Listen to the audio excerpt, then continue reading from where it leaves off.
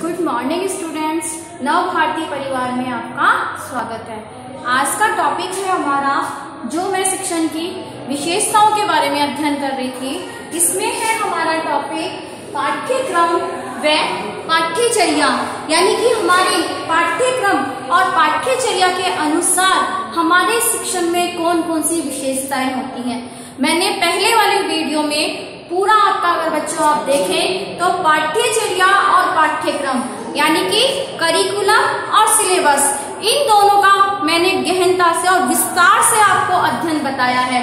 तो अगर आप और ज़्यादा इसके बारे में जानना चाहते हैं तो आप मेरी लास्ट वीडियो को जो मैंने पहले वीडियो अपलोड की थी, उसे आप आसानी से देख सकते हैं। उसमें आपका एक कंसेप्ट क्लियर होगा। कि पाठ्यचर्या क्या है और पाठ्यक्रम क्या है। आज मैं आपको शिक्षण में क्योंकि इसकी विशेषताएँ बताई गई है। उसी के बारे में मैं आज अध्ययन कर रही हूँ कि पाठ्यचर्या और पाठ्यक्रम का भी शिक्षण में क्या योगदान होता है और उनमें कौन कौन सी विशेषताएँ पाई जाती हैं। तो शिक्षण की विशेषताओं के बारे में हम अध्ययन कर रहे हैं पाठ्यक्रम और पाठ्यचर्या के अनुसार। तो प्रथम जहाँ हम देखेंगे, फ़र्स्ट है इसमें शिक्षार्थी व शिक्षण सामग्री के मध्य नियोजित परस्पर क्रिया। हम मानते हैं कि मैंने पहले भी बताया था कि आज की जो हमारी शिक्षा है, पहले जहाँ हमारी प्राचीन शिक्षा थी, उसमें शिक्षक और शिक्षार्थी अहम थे, जिसमें शिक्षक सर्वोपरि थे। लेकिन आज की जो शिक्षा है हमारी, उसके अंदर शिक्षक, शिक्षार्थी और हमारा जो सिलेबस है, पाठ्यक्रम जो है हमारा वो महत्वपूर्ण है यानी कि आज की जो हमारी शिक्षा पद्धति है उसे हम त्रिध्रुवीय मानते हैं त्रिध्रुवीय हमारी यह प्रणाली है जिसपे हमारे शिक्षक और फोकस होता है हमारा पाठ्यक्रम और इसके जो हम कर्णधार हैं जिसको कहते हैं हमारे क्योंकि शिक्षक क्या है जो हमारे शिष्य हैं वो हमारे आने वाले भविष्य के कर्णधार हैं तो यहाँ हो गए हमारे शिष्य या हम कह सकते हैं छात्र तो इस तरीके से ये हमारी त्रिध्रुव है तो इसमें वही चीज़ बताई गई है कि शिक्षार्थी व शिक्षण सामग्री, क्योंकि जब पाठ्यक्रम शिक्षक नियोजित करते हैं तो वो किसको ध्यान में करते हैं? छात्र को, यानी कि शिक्षार्थी को देखते हुए वो अपना पाठ्यक्रम तैयार करते हैं। अब उसके अंदर जो पाठ्यक्रम उन्होंने लागू किया है, उसके अंदर उन्हें किन किन सामग्री का उपयोग करना है? क्योंकि जब तक जिस चीज़ के बारे में हम ज्ञान दे रहे हैं, उसके लिए अगर हमारे पास पर्याप्त हमारे पास सामग्री उपलब्ध नहीं होती है तो बच्चों, ये चीज़ हम मानते हैं कि हमारा शिक्षण अप्रभावी होता है। यानी कि हमें जो जो चीज़ चाहिए, अगर वो हमारे पास अवेलेबल नहीं होती है तो वो हमारा शिक्षण क्या होता है अप्रभावी होता है। मैंने पहले के वीडियो में आपको पूरी चीज़ें बताई थी कि शिक्षण की प्रक्रिया में किस तरीके से हमारे शिक्षण सामग्री का महत्वपूर्ण योगदान होता है। तो इसीलिए ये हमारे पाठ्यचर्या और हमारे पाठ्यक्रम की महत्वपूर्ण ये विशेषता होती है शिक्षण में कि जब शिक्षक अपने शिक्षार्थी को देखते हुए अपने उद्देश्य को निर्धारित करते हैं तो उनके लिए जो उनकी सामग्री होती है उनके अंदर परस्पर संबंध होना चाहिए। यानी कि जो हमारा विषय वस्तु है, उसी के आधार पर हमें अपनी सामग्रियों का चयन करना चाहिए। इन दोनों में सामंजस्य होना चाहिए।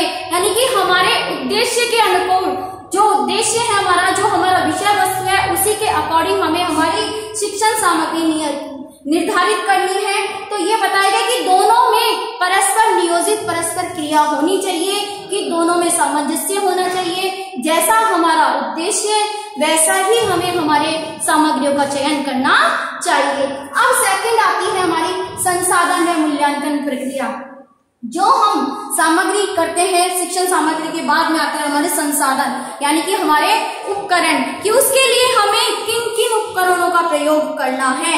ये उपकरण क्या करते हैं? हम जहाँ, यहाँ हमारी सामग्री का चयन, शिक्षण सामग्री में हम देखते हैं, हमारे पास पुस्तक होनी चाहिए, हमारे पास हमारे लिए उससे रेफरेंस बुकें होनी चाहिए, हम ये कहें हमारे लिए चौक होना चाहिए डस्टर होना चाहिए, ये हमारी शिक्षण सामग्री है। और संसाधन है आज के टाइम पे जो हमारी शिक्षा पद्धति है, उसमें सबसे बड़े हमारे संसाधन क्या होते हैं? हमारी टेक्निक अगर हम किसी प्रयोग की विधि, जो हम कहते हैं ना कि हम जब बच्चों को पढ़ाते हैं तो हमें जो उपकरण, जो संसाधन, हम ये देखें कि साइंस के स्टूडेंट हैं तो हमारे लैब के अंदर उसके लिए पर्याप्त संसाधन होने चाहिए कि जिस चीज़, जिस टॉपिक पे बच्चा रिसर्च करना चाह रहा है, जिस टॉपिक का वो ज्ञान लेना चाह रहा है, उससे संबंधित उनके सभी संसाधन महाविद्यालय में उपस्थित होने चाहिए। अगर ये संसाधन हमारे उपलब्ध नहीं होते हैं तो हमने देखा है कि ये जो शिक्षण की हमारी प्रक्रिया होती है, उसमें इनका क्या होता है? जब संसाधन उपलब्ध नहीं होते हैं तो उसका प्रभाव हमारे शिक्षण पर पड़ता है। टीचर जो हमें जो ज्ञान देना चाहते हैं, कहीं ना कहीं वो ज्ञान हमारा कैसा होता है? अप्रभावी हो जाता है। उस चीज़ के बारे में वो पूर्ण रूप से ज्ञान नहीं दे पाते हैं। फिर है हमारी मूल्यांकन प्रक्रिया। हम जब शिक्षक जो शिक्षण की हम प्रक्रिया नियोजित करते हैं, नियोजित करने के बाद में हम उसके लिए सामग्री का चयन करते हैं। सामग्री के बाद में हमने देखा है, हम जिस मेथड से उन्हें पढ़ाएँगे, जिस विधि से हम पढ़ाएँगे, हम उन विधि और संसाधनों का प्रयोग करेंगे। और जब इन सब का हम प्रयोग कर चुके होते हैं, उसके बाद में हमारे सामने, उसका रिज़ल्ट हमारे सामने आता है। उस प्रक्रिया का जो जो हमने शिक्षण प्रक्रिया की है उसका मूल्यांकन हमारा लास्ट में होता है। तो ये हमारी मूल्यांकन की प्रक्रिया में भी हमारी ये सब चीज़ें बहुत महत्वपूर्ण होती है। पाठ्यचर्या के लिए कहते हैं कि पाठ्यचर्या, पाठ्यक्रम आज शिक्षक का हथियार होते हैं। शिक्षक इनके बिना अपना जो तरीका उनका पढ़ाने का, क्योंकि आज की शिक्षा है और शिक्षार्थी भी सबसे पहले हमारा फोकस करते हैं किस पर पाठ्यक्रम पर, कि उसके बिना वो अपना जो ज्ञान है वो ग्रहण नहीं करना चाहते। तो उसी के लिए, उसी से संबंधित हमें सारी विधियाँ अपनानी होती है, संसाधन उपलब्ध होने होते हैं, और फिर शिक्षक उस प्रक्रिया को नियोजित करते हैं। अगर पूर्ण से हमारे सभी सही मेथड, सही संसाधन और सही सामग्री का अगर हमारा प्रयोग प्रयोग होता है शिक्षण की प्रक्रिया में तो डेफिनेटली हम इस चीज़ को मानते हैं कि हमारा मूल्यांकन पॉजिटिव आता है। और मूल्यांकन जब जिस किसी चीज़ का होता है तो हम ये मानते हैं कि मूल्यांकन के बाद में हमें उस चीज़ की कमी और महत्वता दोनों का पता चलता है। इसीलिए इसमें मूल्यांकन प्रक्रिया भी शिक्षण की प्रक्रिया में प्रभावी होती है। और मूल्यांकन की प्रक्रिया, ये सारी प्रक्रियाएँ हमारे पाठ्यक्रम और पाठ्यचर्या के बिना संभव नहीं होते हैं। हमें जो भी प्रक्रिया करनी होती है, हम इनके बिना नहीं कर सकते। फिर है हमारे बेहतर उद्देश्य की प्राप्ति, अर्थात ज़्यादा से ज़्यादा उद्देश्य की प्राप्ति। हम जो उद्देश्य लेकर चलते हैं वो ही हमारी जो पाठ्यचर्या है, वो हमारी पूरा करती है। यानी कि हमने जो हमारे जीवन में जो ज़्यादा से ज़्यादा जिन उद्देश्य की प्राप्ति की करने की सोची है, हम ये सोच सकते हैं कि व्रत उद्देश्य को हम किस तरह से प्राप्त कर सकते हैं? एक अभिगम स्पष्ट उत्पन्न होनी चाहिए। उनके पास शिक्षार्थियों को क्या पढ़ना है? इसके लिए क्या पढ़ाना है? किन चीज़ों का प्रयोग करना? ये हमारे बड़े उद्देश्य होते हैं, जिसे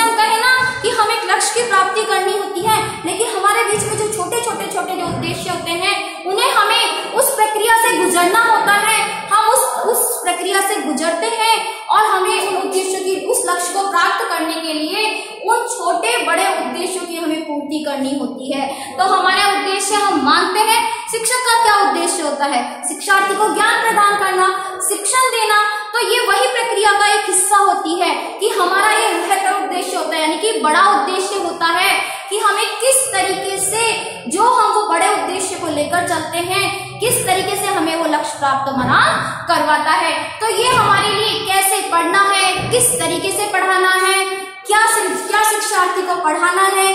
क्या उस पढ़ाने में काम में लेना है? ये सब चीज़ों का एक जो उद्देश्य हमारे छोटे छोटे उद्देश्य एक बड़ा रूप लेते हैं। तो उसी के बारे में हमारी शिक्षा पाठ्यचर्या और पाठ्यक्रम हमें बताती है। फिर आता है हमारा अनुदेशन प्रक्रिया। बच्चों, अनुदेशन प्रक्रिया में मैंने बताया था कि अनुदेशन प्रक्रिया में शिक्षक हमारे अहम होते हैं। हम मानते हैं अनुदेशन, यानी कि जिसका हम अनुकरण करते हैं। और हम ये चीज़ मानते हैं कि शिक्षार्थी, सबसे पहला, किसके अनुदेशन प्राप्त होता है उनको? शिक्षक का, यानी कि वो शिक्षक के अनुदेशन पर चलते हैं। तो ये कहते हैं कि जो अनुदेशन प्रक्रिया होती है, उसके अंदर सबसे महत्वपूर्ण भूमिका हमारे शिक्षक की होती है। और शिक्षक के बाद में हम देखें तो वही अनुदेशन प्रक्रिया हमारी पाठ्यक्रम। क्योंकि हम मान रहे हैं इस चीज़ को बार बार कि शिक्षक भी आज के टाइम पे इसी पाठ्यक्रम और पाठ्यचर्या के अनुसार हमें शिक्षण करवाते हैं।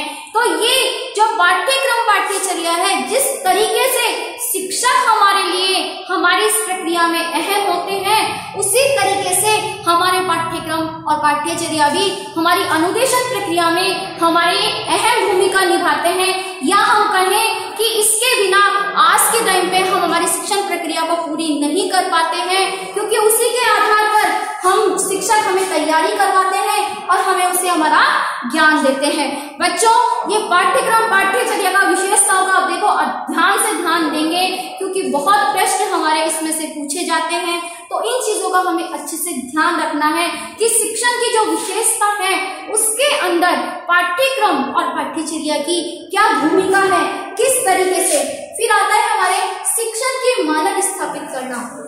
मानक हम मानते हैं कि हम किस आधार पर एक मानक तैयार करते हैं, प्ररूप तैयार करते हैं कि हम क्या उद्देश्य लेकर उस शिक्षण प्रक्रिया को कर रहे हैं, कि हमें जो कार्य हम कर रहे हैं, उस कार्य से हमें किस चीज़ की, किस उद्देश्य की प्राप्ति होगी, और उद्देश्य के द्वारा हम अपने एक लक्ष्य तक पहुँचते हैं। तो वो लक्ष्य हमारा शिक्षण प्रक्रिया के जो छोटे छोटे उद्देश्य होते हैं, इनके द्वारा हम हमारे एक लक्ष्य की प्राप्ति करते हैं। तो इससे कहते हैं कि शिक्षण हमारा एक मानक स्थापित करते हैं कि किस तरीके से हमें शिक्षक ने क्या पढ़ाना है शिक्षक को पाठ्यक्रम निर्धारित करना है और अनुदेशन किस तरह से करवाना है, या हम कहें कि हमें किस तरीके से समय के अकॉर्डिंग विद्यार्थी को क्या आवश्यकता है? ये हम हमारे मानक लेके चलते हैं। मापदंड हमारा होता है कि हमें जो शिक्षण हम प्राप्त कर रहे हैं, आखिर वो शिक्षण हम किस दिशा में और किस लिए प्राप्त करते हैं, ये हमारे आज के टाइम में दृष्टिकोण होता है। क्योंकि ये चीज़ हम मानते हैं कि जब तक हमें किसी चीज़ की ज़रूरत नहीं होती है, हम उस चीज़ के बारे में हमारा ज्ञान, ना तो हम उसके प्रति कार्य करेंगे। यानी कि आवश्यकता आविष्कार की जननी होती है। यानी कि हमें जब तक हमारे जिस चीज़ की आवश्यकता नहीं होगी, हम उस पर कार्यरत नहीं होंगे। अगर हमें किसी चीज़ पे कार्य करना है तो सबसे पहले उसे हमारी आवश्यकता के अंदर, हमारी आवश्यकता उस चीज़ को बनानी रहेगी कि हमें, क्योंकि हमने देखा है कि जब जब जिस चीज़ की आवश्यकता रही है, आवश्यकता पर मनुष्य स्वयं कार्य करता है। ये मनुष्य की एक प्रवृत्ति होती है कि जब तक उसकी आवश्यकता, कार्य उसकी आवश्यकता नहीं बनेगी, वो अपना कार्य नहीं करेंगे। तो इसीलिए ये शिक्षण का एक मानक स्थापित करते हैं कि आखिर हम जो जिस चीज़ का हम ज्ञान ले रहे हैं वो ज्ञान हम क्यों ले रहे हैं? फिर आता है हमारा, हमारी अनुदेशन प्रक्रिया मैंने बताया, फिर है हमारी सामाजिक परिवर्तन के कारण। बच्चों, हमने देखा है, सबसे महत्वपूर्ण है ये पॉइंट कि आज की जो शिक्षा है हमारी, यहाँ हम कहें कि जो हमारी शिक्षा का विकास हुआ है, वो किस कारण हुआ है? हमारे सामाजिक परिवर्तन के कारण। ये चीज़ हम मानते हैं कि जो शिक्षार्थी, हम जिस चीज़ की हम शिक्षा ले रहे हैं, वो कहाँ रहते हैं? उस समाज में। यानी कि उसको इफ़ेक्ट कौन कर रहा है? समाज। अब समाज में जो परिवर्तन होंगे स्वतः ही उसका इफ़ेक्ट किस पर पड़ता है? शिक्षार्थी पर। क्योंकि मनुष्य एक सामाजिक प्राणी है, वो समाज में रहने वाला है।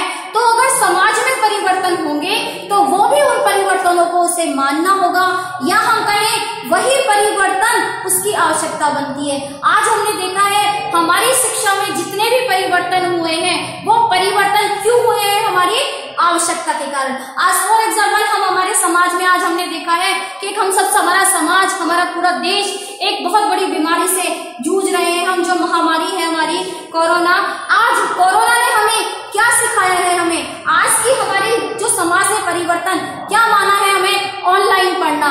ये हमारे समाज समाज मतलब व्यक्ति, व्यक्तियों ने हमारी आवश्यकता। आज ये हमारी आवश्यकता बन गई। अगर जो हमें अगर ऑनलाइन पढ़ाना नहीं आ रहा है तो वो हमारे सीखना पड़ रहा है। बच्चों को नहीं पढ़ना आ रहा, उन्हें उन्हें पढ़ाना हम सिखा रहे हैं। तो ये क्या है?